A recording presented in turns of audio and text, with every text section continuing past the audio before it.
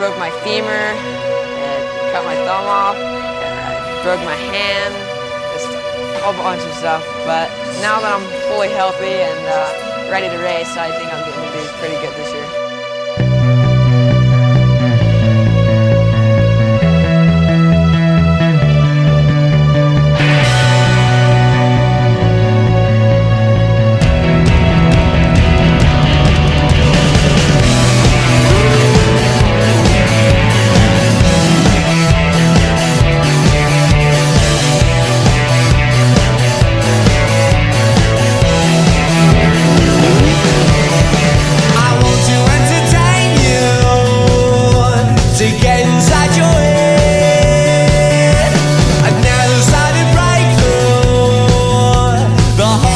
you blame